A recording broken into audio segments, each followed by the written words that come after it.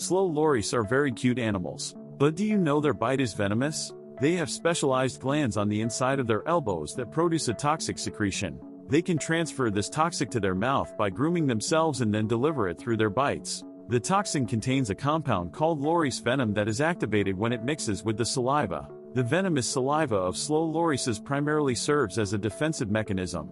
When threatened or provoked, they may lick or apply the venom to their teeth and deliver a venomous bite if necessary. The venom contains a mixture of chemical compounds that can cause pain, swelling, and sometimes even anaphylactic shock in their potential predators or threats.